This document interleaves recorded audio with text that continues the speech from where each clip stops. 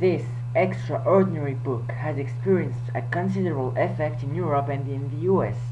What we hear from this sensitive and intelligent young girl who less than two years after having smoked her first joint prostitutes herself after school to earn enough money for her daily dose of heroin, and the painful confession of her mother make Christiane F.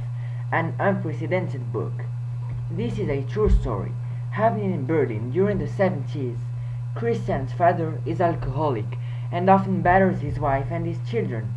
When she is 12, Christiane is allowed to stay out until midnight and she takes advantage of it. She smokes her first joints there. At a concert of David Bowie, she takes some heroin to forget and can't give up. From that follows prostitution.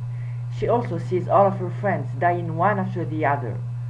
She wanna kick the habit and is clean for many months.